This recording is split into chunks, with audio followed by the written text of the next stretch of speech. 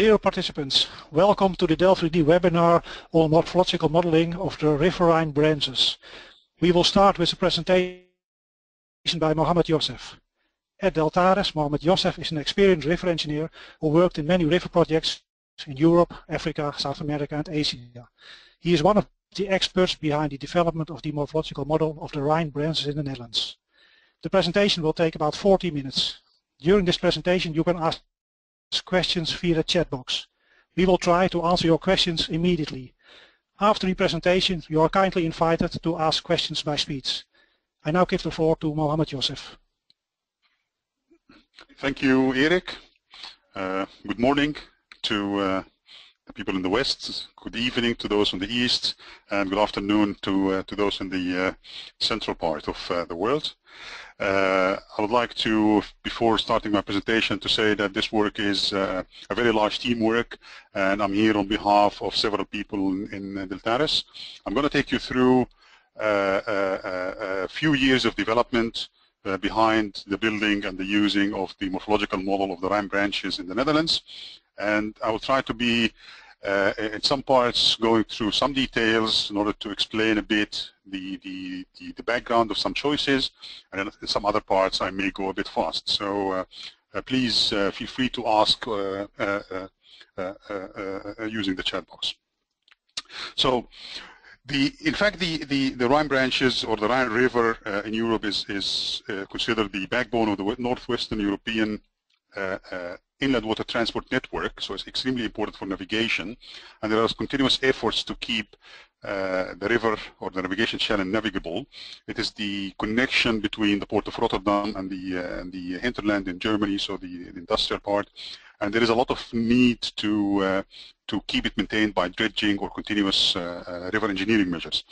Uh, after several discussions and after several attempts to keep the, the Eh, the river uh, uh, navigable, the, the, the Rijkswaterstaat or the, the, the, water authority in the Netherlands realized that there, there is a need for a tool that is capable of analyzing historical trends, predicting future trends, and also evaluating the different measures. And we came to the conclusion together that a numerical model that needs to be built, and this model in in a, in in, a, a, needs to be both accurate but also fast. And I will come to this why fast in in in uh, in, uh, in uh, during my presentation. So the DVR, we call it here in the Netherlands, it's, it's uh, symbolizing a sustainable navigation channel for the Rhine branches. Uh, the, the, the, the, target is to maintain the navigability in principle, and it is built in discussion with the river managers in the Netherlands. So that is uh, part of my part of my presentation. I would be also explaining a bit on the discussions on choices. Uh, the outline of today's presentation, I, I will take you through the, uh, the construction of the model, the calibration of the model, and some applications of the model. And in the construction, we will look at some components like the grid, the schematization, how do we do time management, uh, what do we do for dredging activities, which is uh, extremely important in, in, the, in, in the Rhine. And for the calibration, I will take you through the hydrodynamics morphology, as well as how did we calibrate uh, for dredging activities. This is this might be a non-trivial part of the presentation. And for the application, I will, I will show you some uh, three cases uh, ranging from uh, uh, in, uh, river engineering measures, so this longitudinal dams, and the maintenance two measures. One of them is dredging and the other is nourishment. To start with, there was uh, before 2005, some attempts to uh, to build models on an ad hoc basis to evaluate certain components or certain questions, uh, but around the, the, the 2004, there, there started to be a realization that perhaps we should have a unified model that that we can use in all our studies uh, uh, when it comes to the Rhine. And in 2005, we started with this model construction. Uh, and uh, very quickly after an initial phase when we uh, calibrated the model and improved the speed, we started to use it in, in, in some applications. So here the model has been operational already in 2008. And then improvements and extension to the model took place and uh, to add all branches, to add more details in the hydrograph, for example. And uh, in uh, a couple of years ago, we started to also increase the processes by adding a graded sediment uh, functionality. And starting this year and hopefully next year, we are migrating from the old or the, the existing uh, structured grid Delft3D4 to the new flexible mesh Delft3D uh, uh, uh, which has been released last year and continuously being improved as we speak. Uh, for the model construction, the background picture is uh, a typical part of the Rhine in the Netherlands. It, it, it can be uh, clearly seen that there is a lot of groins. There are 500 of them, for example, in the Waal River. Uh, there is a floodplain which is uh, uh, not only vegetation but also including some locked water bodies and a navigation channel that is very regulated and you can see also ships. We do not model ships in this model. We started with the uh, the construction uh, by this first part, so the uh, the the the upper part of the, the, the the Rhine and the main branch, which is the Waal, which is connecting Rotterdam to Germany, and we continue to extend the model in the downstream part with the, the estuary of the, the Rhine uh, to the North Sea, and we added the IJssel and then followed by the Nederrijn. In general, we have nearly 360, uh, even more uh, kilometers in, in, in, rivers to model. Uh, sometimes we use the model in, in its entirety and sometimes we split it in, in order to uh, have a bit faster uh, simulations. But uh, for many studies we use it in a complete uh, as a complete model. We did use uh, what we call domain decomposition to build the model, uh, specifically for uh, bifurcations. As you see, this is a picture of the entire model showing some bifurcations. And for example, here we start with the, the first bifurcation, the Pannerdensche Kop, splitting into two branches, the Waal and the Pannerdensch Canal. And here we have also a refinement. So we start from a 10 grid cell in the cross-section of the main channel to 12 grid cells in the Waal and 8 grid cells in the uh, uh, Canal, which is a lot narrower. We have a kind of a rule of thumb that uh, a cross-section of a river should not be represented by 8 grid cells. We think this is the minimum number of grid cells that's sufficient to have a proper cross-section profile to include the transverse slope. You may argue that you may need a lot of finer details in order to have a lot of features, but uh, you have to realize the finer the model it is, the, the, the, the, smaller the time step, and then the slower it is, uh, and then it becomes maybe non-operational or non, uh, uh, not, not easily usable. So we came to this uh, after several years of, let's say, experience on, on two-dimensional modeling. Uh, a coarser model than this, maybe you should think then in terms of 1D, and then you lose a lot of details in the cross-section profile. Uh, this is the second bifurcation where uh, the Pannerdensch Canal splits also to two canals, to two branches, and here you see four grid cells splitting into eight in the main channel. I'm not counting the number of grid cells on the floodplain, but uh, I'll show an overview of how many. And for purposes of, uh, let's say, speed at the beginning of the modeling of the model, we, we decided to split one of the branches into, in fact, three parts, and here we see a one-to-one -one coupling on the, on the boundary. I just show you an example of, of the meaning on, or, or the tests that we did at the beginning to uh, to uh, uh, uh, to choose the grid. Because in fact when when you build a model from scratch you do not start with a known resolution that's sufficient. So here it's a part of the river which has some uh, uh, uh, secondary channel and then how does this connection appear? And here you see an example of a fine grid, a bit coarser grid and a slightly different grid. And you can see the, the difference in discharge when you change the grid. So it's up to you to start to realize what kind of resolution do I need or what kind of resolution is sufficient to represent the features that I want. For example, you do not want to miss a secondary channel like this in your model. So after we chose the, the, the, the, the, the final grid, I just want to show you uh, some of the typical dimensions that we have in terms of width and length of the uh, uh, grid cell. Uh, again, for, for rivers, we know very well the flow direction, so it allows us to optimize the grid by having a bit of a, a rectangular uh, grid, especially for uh, uh, when it's a curvilinear grid, in the streamwise direction. We need a high resolution in the cross direction, so that's why we have around a 20, 20 uh, below 25 uh, meter grid in the cross section, and we always want to keep the aspect ratio of a single grid cell below 4. And so we end up with an 80 meter in the longitudinal direction.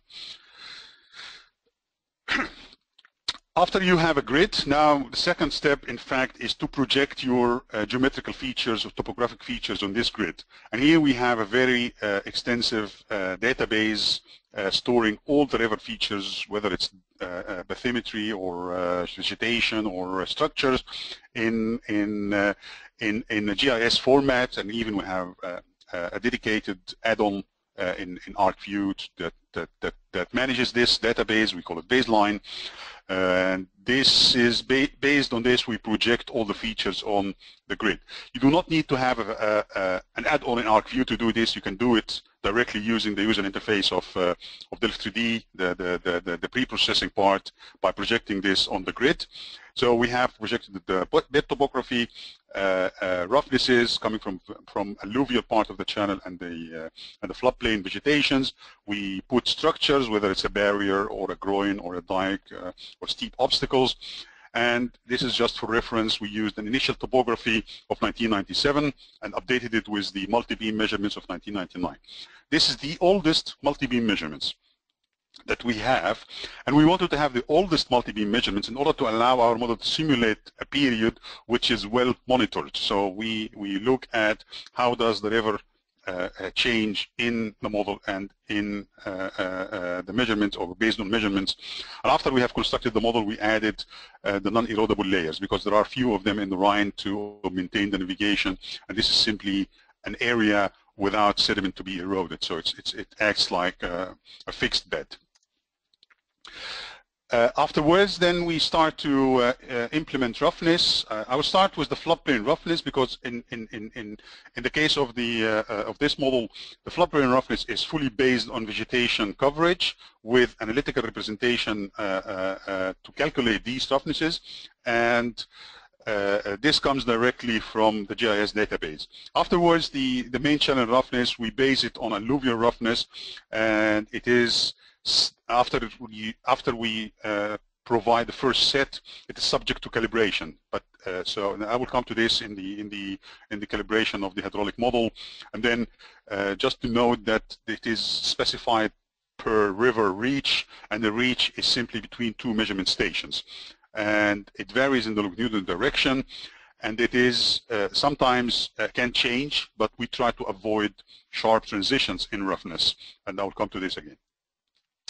That is a typical picture of the projected structures on the model. So mostly you see a lot of uh, uh, these lines on the grid. These are weirs, and these are subgrid weirs to represent these obstacles.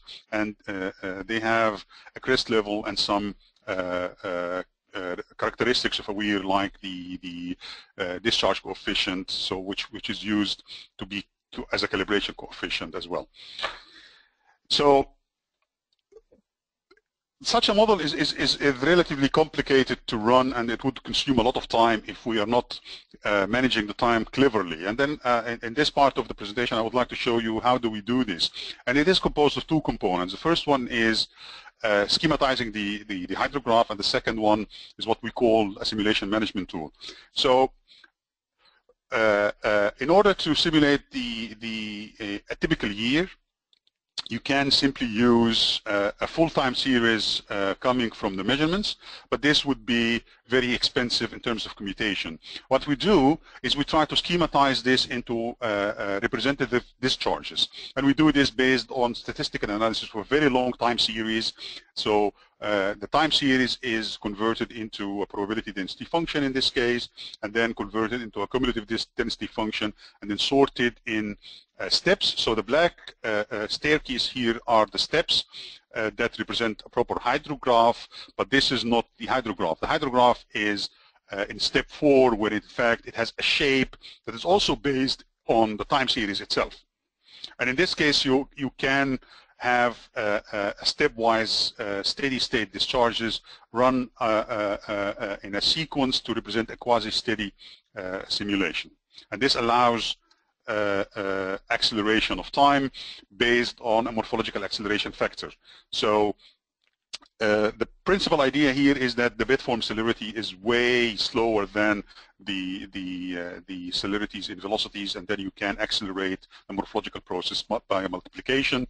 And in this case, we we use a, a, a factor that can range from 50 to 200, and sometimes can even go more than 200. And this factor is in fact uh, uh, inversely proportional with the sediment transport and and hence with the discharge itself. And then you end up, you start with a morphological time, so that's a typical uh, hydrograph that you want to simulate. Again, it's split into a representative discharges, and for the hydrodynamic time, you end up by dividing by this morphological factor, so you get uh, a much shorter duration to simulate. So that is the principal idea behind this uh, uh morphological acceleration factor. And then uh, uh, if you use a quasi-steady discharge or a stepwise discharge, it is very easily Uh, uh, uh, done. The management of time, in fact, or how do we manage uh, a complicated simulation like this? So here we have uh, a Python-based uh, tool that allows us to, let's say, store in a database the hydrodynamic information and update information as we go. So I will try to go through slowly the first simulation you, you start, you start from scratch, and then you start building up your hydrodynamic database, and then there is an information about a certain uh, discharge, what is the, the, the correct hydrodynamic uh, uh, result for this, and then at the end you end up with a morphological simulation that is uh, producing bed level changes, and this uh, you combine the bed level changes with the hydrodynamic simulation uh, uh, uh, using the, the, let's say, if you have simulated the first discharge, you end up with a morphology result, and this morphology result is fed into a restart file, and the hydrodynamic result is coming from the database, and then you have a new restart file for the next simulation, and it goes on like that. And in this way, we can really run a very long time series in a manageable time. The other component that I wanted to talk about in the model construction part is the, uh, the, the, dredging module. And in fact, when we started, we had a basic dredging module uh, in Delft 3D. And then based on discussions with the river managers and how do we do the dredging and what are the, the, the, the, the rules and what is the, uh, the contractual uh, obligations on uh, uh, dredgers to maintain the river, we needed to add a lot of functionalities. And I will tr try to describe a bit on, on these functionalities as we go. So in fact, the, the river is, is, is split into uh, uh, let's say defined uh, uh, sections. Each section of them is one kilometer. So we needed to be able to define dredging inside arbitrary number of polygons. And these polygons can be small, can be big. It's up to the user, of course, to decide. And this comes from the description that comes in the Rijkswaterstaat relation with the dredgers, in fact. And it has to be flexible and the dumping because dredging, uh, because of the the the the typical uh, degradation process in the Rhine, uh, dredged material is not allowed to be taken out of the river. So it has to be dumped back to the river and it has to be dumped in deep places so again, as you see the picture, this uh, dredged block is dumped in this block and in that block based on the depth. And we have some dredging, what we call dredging criteria, that is uh, when that, that, decides when to dredge. So how do you trigger a dredging operation? And we have two uh, uh, uh general uh, parts. One of them is you specify directly the level above which you start dredging, that is method A, or you specify uh, a, a, reference from or a, or a certain uh, depth below a certain reference level, and then we start dredging, and here we have, in both cases, we have what we call a clearance. So if you are supposed to dredge to a two and a half meter depth, you should use uh, uh, option B, and then you do not want to have it exactly at 2.5 meters, but you want to add a certain margin, like half a meter extra dredging. So that is how you dredge or when do you trigger dredging. And the other one is how do you do exactly the operation of dredging. So in this case, I show how do you do the dredging. In fact, we have three options. One of them is simply dredge the top part. And the second is to dredge it in proportion to the depth. And the third is to dredge with a constant uh, thickness. And if you do this, you need also to describe how do you want to dump your material. And we have two big or two distinct uh, uh, uh ways to dump the material and whether you dump the first, the deep part first, or you dump it in a in a in a in a uniform way. In fact, in in in our model, we use uh, case A and A in both cases. So dredge the top parts and dump it in the deep parts. And there are also additional constraints like time uh, or the minimum time between two dredging operations, as well as the maximum capacity of dredgers that you can use. And all of these can be specified to the model. Uh, I will come a bit more to the dredging and the calibration of the dredging module. So after the model has been constructed, the needed functionality was added and implemented. We started with the model calibration, and we typically start with the hydrodynamic calibration and one of the typical questions, of course, when you do morphology is which sediment transport formula do you want to use? And this is subject, of course, to your knowledge of the river and your knowledge of the behavior of the river and perhaps uh, an analysis of the available sediment transport formula that, that represented, represent the, typ the transport capacity in, in, in your river uh, properly. And after you choose a, uh, the transport formula, you start with a morphological calibration. And then in, in the Rhine case, we have an additional step which we call calibration for the dredging activities. We want to be able to predict correctly the dredged volumes, the yearly dredged volumes that has been done before. For the hydraulic calibration, I don't want to go to full details of, of, of really what did we do, but just to cut it to the, the, the most important components is uh, uh, in, in a typical hydrodynamic calibration are in fact three parts. The water level, the discharge distribution, and the velocity cross sections. For such a large rivers, it is not uh, uh, uh, common that you have a lot of velocity measurements and it comes down to water levels and discharges. And that's what we have in our model. And we want to get the discharge distribution between branches correct and we want to get the water levels correct. And just to give you a, a quick tip on how does this happen. So in fact the first step is we split the model into branches. So we treat each individual branch separately. And we provide as a upstream boundary condition to each branch the discharge that we think correct for this branch, the correct, so the correct percentage. And you start calibrating the water level of this branch, and then we start from the downstream part of the model, and we move upstream. And for each station, you can have a, reach that has different roughness from the one in the upstream. So that's how you do it. And then you would end up having a correct water level at the upstream of your branch. And you do this for the second branch. And once you glue them together with the upstream, most of the time the, the, the, the resulting discharge distribution is correct. Don't, uh, don't, don't be surprised uh, uh, if you find it happening. But in some rare cases, it doesn't happen. And then you have to really model the, or calibrate uh, in a second step uh, the, the, the bifurcation uh, in, in, in, in together. And that is a typical result from from the, the the the model at low water levels. And the target is, of course, to match the measured water level with the calculated water level. And here we show the result of the calculation. Uh, the first one is based on no limitations on the roughness, and the second one is putting a lower limitation on the roughness, that it shouldn't be uh, uh, less than three times D90. So you're not allowed to go finer than that. And we needed to put this limitation because the downstream part, uh, we had some uh, trouble calibrating it with a typical roughness, and we found that it needed to go way smoother than this, so we put this limit. And in fact, in, in, in the downstream parts of rivers and estuaries, when the slope is very small, the roughness effect is very uh, minimal, uh, uh, uh, Uh, uh, uh, and doesn't have that much impact. The geometry plays more more more role in here. For the transport formula, in fact, we knew that we needed some uh, criteria for our transport formula for this river. So we know that the upper part of the river have a behavior looks like a Meyer-Peter-Müller formula. That's the, what I call MPM here. We know that the lower part has an Engelund-Hansen type of formula. So total sediment transport fine material, so that's the lower part.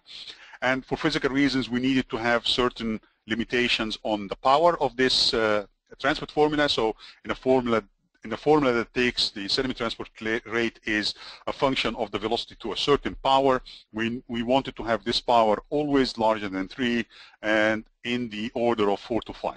So what we did, in fact, we started to uh, having these formulas, so the Engelund-Hansen, which is preferred for the lower part, the Meyer-Peter formula preferred for the upper part. And then we uh, we tested a combination of this formula. So this combination is, is, is simply uh, adding or multiplying Engelund Hansen by Meyer Peter uh, uh, with Meyer Peter uh, Müller formula, and we also tested Van Rijn. So if you can write these in in one line, unfortunately Van Rijn doesn't fit on the screen, so I just give you a screenshot of of the Van Rijn formula 1984.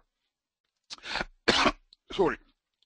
And what we did is we tested how the performance of these formula for a certain range of uh, the, the mobility parameter uh, or the Shields parameter, which is which we are interested in, and we looked at how do they, uh, they, they, they compare to each other, and we also looked at the degree of nonlinearity.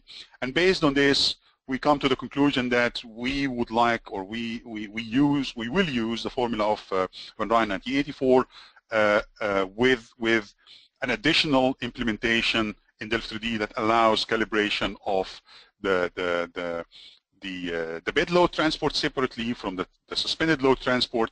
And we also wanted to speed up the simulation by adding both the, both the suspended load to the bed load in, in a total load and this is using, uh, uh, if you use the option bed load it will directly uh, uh, move from a split uh, two loads into total load and we also wanted to have the critical Shields parameter uh, in the formula as a calibration coefficient. So these are these were in fact additional implementation in in uh, in Delft3D specifically for this project. And the the after you have chosen your sediment transport formula, then there are two parts of the morphological calibration. The first part is the 1D behavior, and the second is the 2D behavior.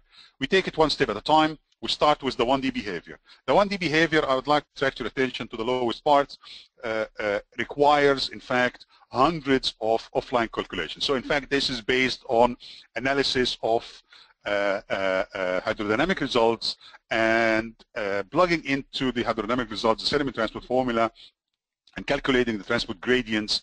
And after hundreds of simulations, which is really very quick, I mean, you can do this in, in, in, in, in a couple of days, you reach at your initial settings. And then using tenth of uh, uh, uh, proper calculations, you use at your final set. And here, what do we look at? In a, in a one-dimensional behavior, in fact, we look at cross-sectional average uh, values, whether it is the, uh, starts with the sediment transport load, and bed form celerity, uh, the, the, the bed level changes, and changes in slope. And here we decided that the, the bed form celerity is one of the most important parameters, in fact, the most important parameter in our case, because we want to model and, and, and correctly uh, evaluate behavior of engineering measures that propagate in the downstream direction and dredging is important. So the reoccurrence of dredging, in fact, is based on how fast features move in the river. So that is why uh, we have this as, as highlighted as red. And we have a couple of parameters that allows us to calibrate. So in fact, the alpha, which is the the, uh, the calibration coefficient that goes directly into the sediment transport formula. And here we said we have two of them, for the one for the bed load, one for the suspended load, and then the critical Shields parameter. And and if these are not sufficient, then you have uh, uh a, a D50 that you can uh, manipulate to meet your uh, uh, last demands. Moving to the 2D behavior, it is a bit more complicated than the, than the 1D behavior, and in this we focus on getting the transverse slope in bends correctly and the position of the crossing. I will, I will, this is the, the in fact, the, you want to get the bar pool pattern correctly. So the, the, the location of the crossings between two bends should also be correct. And here it is based on uh, a tenth of simulations. So you cannot do this offline, unfortunately. But you need several simulations to get it right. Uh, and here the, the parameters that, that you are you can use are in this uh, uh, uh box. So uh, the, the, the, coefficients that affect the spiral flow motion and the coefficient that influences the transverse bed slope. Uh, I didn't mention that that in fact when I said a quasi 3D model, I meant a 2D uh, model with a parameterization of the spiral flow motion uh, that describes the transverse velocity profile. Uh, if you have more questions about this, I can answer it later, but uh, I'll keep it here uh, at this. And after this, we, we, we know that there is, in the upstream, we needed an additional morphological boundary condition and in this case we know the rate of degradation of the, uh, the, the, the, upstream section of our model, and this is uh, uh, we can use as a prescribed bed level change as upstream boundary. There are several other uh, uh, boundary conditions that can be used. I just want to say that uh, option two, which is a fixed bed level, is the default value. You may want to use it. you may decide to use something else, but in this case, we use a prescribed bed level change at the upstream boundary.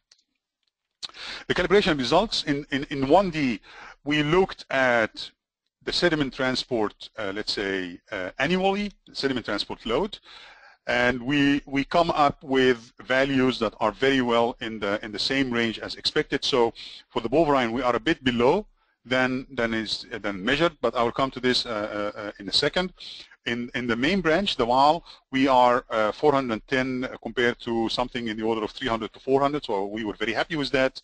And here we are in the order of 100 uh, uh, 1,000 meter cubes per, per year compared to something in the order of 70 to 100. So we were very happy with that. Here there are some deviations and we think that there are some uncertainties in, in the measurements uh, uh, uh that, that, that we can safely assume that uh, we are uh, uh, having a proper sediment transport load. And here the bed form celerity in, in a very aggregated way, so per branch, and we see the measure the black and the calculated the gray, we have a very good match. And uh, other quantities like the average yearly bed level or the, the, the slope are also well.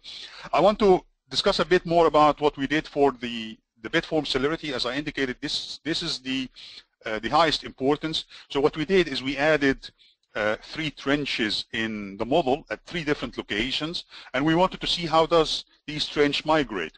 We know from the measurements that uh, an expected one kilometer per year is uh, uh, uh roughly a correct value. And we look here in this on a bit more detail on how do they behave.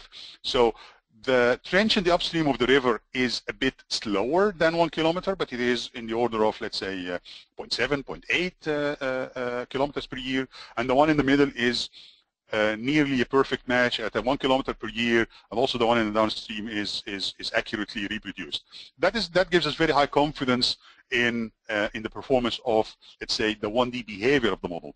And I, I want to uh, to iterate these are cross-sectionally average quantities. So they are not 1D. It's cross-sectionally average from a 2D result. In a 2D calibration, so that's the typical uh, uh, longitudinal profile that goes through the left bank and through the right bank, and then you can see uh, the shallow part uh, of a bar and the deep part of, uh, of a pool. So, and, and, the distance between these define the cross, uh, the cross or the transverse slope in a cross section, and the locations of the crossings are important to reproduce. So in this case, we have the, the, the measurements are in different color uh, dots, and the calculations are in, in, in, uh, in, uh, in blue. And this, you can see a good match between the calculated and measured uh, quantities. So this also gives us very high confidence in, in the model. The last piece of calibration is in fact related to the dredging. And for the dredging, uh, uh, there are two components that contribute to the dredging. The first one is the shallow bars that are uh, localized at, at, at, char bends or at bends in general. And the second part is the, the dune heights. So the higher the dune, the more dredging will happen. And here we have uh, an overview of a measurement uh, uh, through the year of 19, 2002.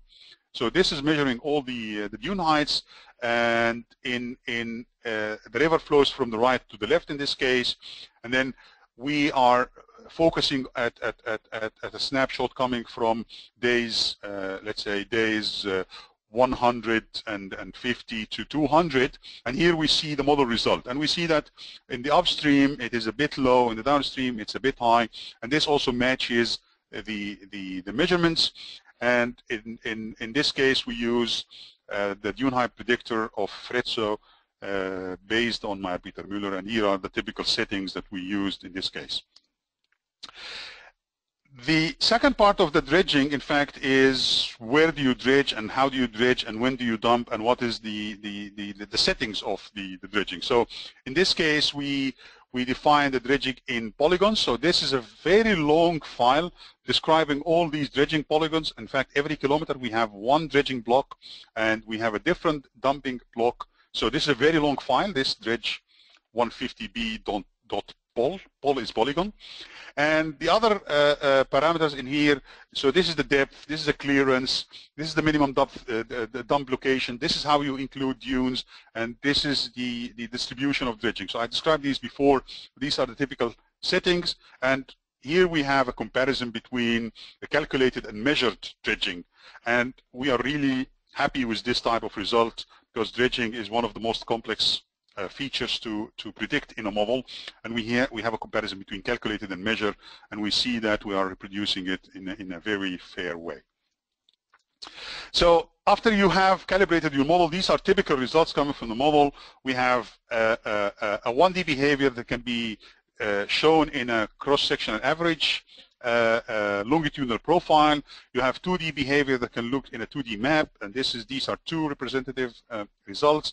And we have a dune height that goes that moves in time with the discharge. For the the, the first result, in fact, shows us a very long-term uh, uh, uh, changes in, in longitudinal profile, uh, going from the very far upstream in the Boven until the downstream of the Waal. We see the upstream degradation, as we said, and we see a small downstream uh, uh, uh bed level increase or aggradation. So, in fact, the river slope is changing, and this is uh, also matches very well the experience and the knowledge about the, the river behavior. The second part of the result is what we call a 2D long-term behavior. Uh, in this uh, picture, the red represents deposition, the blue represents erosion, and we see how the bifurcation is behaving and is it stable or not. And we see the, the erosion wave coming from upstream migrating in the downstream direction, and we see the, the, the let's say the bar pool pattern also changes with, with time. And this is in fact one of the most important type of results of the model, which we call the 2D local result. In fact, this is what defines dredging activities and what defines whether a measure has a large impact or a small impact. So here we show the depth of uh, uh, uh, uh the, the, the, the, river at a certain discharge, and here the black lines, so the uh, there are three of them represent the center line of the navigation channel and the boundaries of the navigation channel. And the red color represents any color that is uh, below the threshold. So if you are two and a half meter or below, in fact, uh, has to be dredged. So any color, which any red color which goes through the black line has to be dredged. And in fact, this is one of the most important results of the model. So in fact, as you see, the model is capable of also producing the 2D uh, uh, features in a proper way. Now we have been satisfied with the model, we have tested it, and it, we are happy with it. We move forward to apply this, this model in some case studies. And I'll take you through three applications. One of them, uh, uh, uh, the, the, the uh, longitudinal dams, I will describe it in, in, a second, dredging and, and nourishment. For the first one, which is in fact motivated by the, um, the, the wish to add more conveyance to the rivers to lower the flood level, and the question, of course, in, in a heavily navigable river, river like the Rhine, if you want to lower the flood level, uh, the flood level, how how do you harm the navigation? And if you, for example, remove the groins, in fact, effectively you are increasing the width of the channel, which would add to a shallower channel, and this would not very uh, uh, would not land well with navigation or the ship owners. So in this case, uh, uh the, the removal of the groin is combined with adding a longitudinal dam to separate uh, uh, the main channel or the navigation channel from the groin fields. In this picture, it's, it's uh, in fact, it has been implemented in reality, in fact, a year or so ago. And uh, uh, this allows flow on the two sides of the uh, longitudinal dam during high flow, but during low flow, it is limited only to the main channel. So you get the, the let's say, the best of the two worlds. And we do uh, we are able to implement this in the model and we would like perhaps to show some results like this. So uh, this shows the uh, erosion in blue, in blue, the deposition in red, and you can also see some localized features and it migrates in the downstream direction and we are able to do this for a very long period. Uh, coming back to uh, uh, the, the, the, the, conclusions that we were able to draw from this. So we have localized effects of these uh, uh, longitudinal dams, and it needed some optimization at the inflow and outflow boundary or, or locations of the, the longitudinal dam. And we realized that our model with this type of resolution perhaps is not the most uh, effective tool to analyze such a local feature. So we recommended some additional analysis based on either a higher resolution model or a different tool. The second case I would like to uh, share with you is uh, evaluating uh, uh, uh, changing the, the, the, navigation channel dimensions. So in fact, we, we started with a channel of 150 times 200 feet, two and, two and a half meters, so 150 meter wide, two and a half meter deep. And this is the minimum requirement during the low flow. And what would happen if you increase the width, the width of the channel from 150 to 170? And the second case is what would happen if you increase the width of the, sorry, the depth of the channel from 250 to 2.8 meters. And this is a typical uh, result. So uh, if you look at a time series that look at one point uh, uh that you know that it will be dredged, you will get a result that that that looks like uh, uh, the, the, the bed level is building up, and then suddenly it is lowered to to the desired depth plus a threshold. So this is the threshold. It is lowered to the desired depth, and then it starts building up again, and then dredging kicks in again. Now, uh, after doing this for these uh, three cases, where we were able to evaluate how do how does this also uh, migrate in the downstream uh, uh, direction, and how does uh, it affect the, the downstream locations as a consequence of, of dredging. So it's not simply what, migrating in the downstream, but it also adjusts in the cross-sectional profile. So what we did with dredging is we dredged the shallow parts, dumped in the deep parts, so we changed the slopes, and this also have an effect uh, on how does it uh, uh, uh, behave after the dredging operation and how a second dredging operation is being triggered. And in a rough comparison that is that is useful for river managers to in fact e e quickly evaluate. So if we have at the current situation what we call a reference situation, a one bucket of sand being dredged, this bucket of sand increases to become 16 buckets if you increase the width and increases only to seven buckets if you increase the depth. Perhaps it's a bit surprising, but it's, it's, it is really not. And when you increase the width, you go more into your shallow parts, the, the, the, the bars, uh, uh, and then it contributes very heavily to the dredging. So increasing the width of a channel would have a more impact on dredging volume than increasing the depth of the channel. Uh, nourishment, in fact, is if, if you recall a few uh, slides ago, I was explaining the upstream degradation and how does this does this propagate in the downstream direction. So in order to stop this upstream degradation, uh, uh, uh nourishment is planned in the uh, in the in the in the Bovenrijn. So the upstream part of the river, we add material in order to, to stabilize the bed. Key parameters here are the quantity, the location, and the composition of the mixture. And of course, we needed to do modeling to optimize this operation. So how often should we uh, uh, repeat it was an important question. I will come to the answer of it at the end of this uh, section. And in fact, what you try to do with the, the, the, the, the nourishment is to stop this degradation by leveling off the transport gradient. So there is a gradient that causes erosion. You compensate for this by adding sediment and you increase the efficiency if you dump coarser material, for example. And this is uh, uh, uh the planned operation in a nutshell, so 6,000 uh, tons per week to a total of 150 meter cubes or with a 30 centimeters uh, thick layer, so not very thick. And it is dumped in two locations, and here we see the, the bed level changes after this uh, uh, nourishment operation. And you see it's migrating in the downstream direction. It is spreading on the width. And one of the questions was, how does this behave, how does this propagate, how far does it go in a year, and, and, and do we need to repeat it every year or every two years?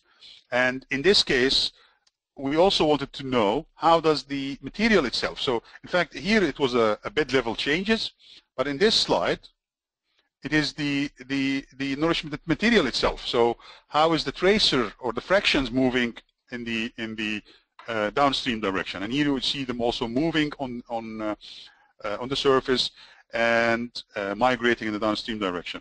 I have to say in this simulation we used the graded sediment model, which I did not discuss in this presentation, but it is very important to, to, to know that this study was done with the graded sediment part, which perhaps in a different webinar we covered that. And an interesting question, of course, is how fast does the, the fine material move compared to the coarser material? And the two, the, the, this shows a comparison. The top, the top uh, uh, animation shows the fine material and the lower one shows the coarse material. You can see that it is way slower uh, uh, in the lower panel. And here, this shows three fractions in a cross-sectional, on a vertical section. So you see here the bed layers, in fact, and the flow in this case is from left to right, uh, opposite to the flow direction in the river. This is the fine material on top, and the bottom one is the coarsest material. You see it's pretty stable, uh, and it doesn't move much. And after this, we, we tested a final uh, case with uh, a repeated feeding every year. So we, we came to the conclusion that perhaps it needs to be repeated every year. And here you see uh, uh, uh a repetition every year. So you see a, a continuous, let's say, a continuous feeding of sediment in the upstream, and that's how it is not really fading out of the model. So, in fact, based on this, we were, we were able to, let's say, conclude that we have a very uh, uh, good morphological model of the Rhine branches. It is well calibrated both for hydrodynamics, for, hydro for morphology, both one-dimensional and two-dimensional. The model can be considered unique because, yeah, it is large scale yet detailed to a level of, of, of a local bend. Uh, it has a refined dredging and dumping uh, functionalities. We're able to simulate different type of measures. It is relatively fast, so we can we can run 40 years in uh, uh roughly uh, four days and it can be used effectively to evaluate measures, gives advice to the uh, to the managers. And now the model, in fact, has been disseminated to all interested consultants in in the Netherlands to use it in different projects. And now we are uh, uh, uh, also has extended the functionalities by adding the the, the the the graded sediment, which I did not discuss today. After this, in fact, we're looking now to the future. So the uh, uh, we we aim now to migrate to the uh, to the flexible mesh, and the blue uh, color is showing the first grids that we we implemented. The gray in the background. It might not be visible, but I'm sorry. Uh, I'm sorry for that. But it, it shows that we can gain a lot of flexibility if we use the flexible mesh. We try to stick to the uh, let's say, structured features. So, so we use uh, uh, rectilinear grid cells. This is more, let's say, accurate in terms of numerical solution, but we can also use triangles, uh, we, we, we can use uh, hexagons, we can use anything. So here we limit ourselves to uh, rectangles and, and, and triangles in this, in this case. But you can see that you can very easily improve your grid, improve the, the, the coverage in the floodplain. This is a case where we show uh, a secondary channel being well uh, implemented in, in, in the grid, whereas in the structured case it's not, it's not uh, well represented. And this is a picture from, let's say, uh, how it looks in the new user interface. So this is in fact looking a bit more to the future. Uh, we plan to start the, uh, the, the migration and the testing and the calibration next year. So early next year we will start with this migration. And this brings me to uh, uh, the, the slide before the last where this is the early results of the, the, the, the, flexible mesh model results. It shows part of the river Waal with uh, flow uh, from right to left as as as as as, um, as it does, and then the color represents vorticity, and you can see the effect of the groins. This is using uh, a standard Smagorinsky turbulence model to solve these turbulence turbulence structures. And here it is, in fact, the end of my presentation. I would like to invite you to attend maybe the Software Days, which is in uh, a couple of weeks. And there is a dedicated course to modeling rivers using uh, flexible mesh. Thank you. Mohammed, uh, thank you for your very uh, detailed presentation. And during your presentation, we have received many questions via the chat box. And all these questions have been uh, answered by our colleague Bert Jagers in an excellent way. Thank you, but, Bert. But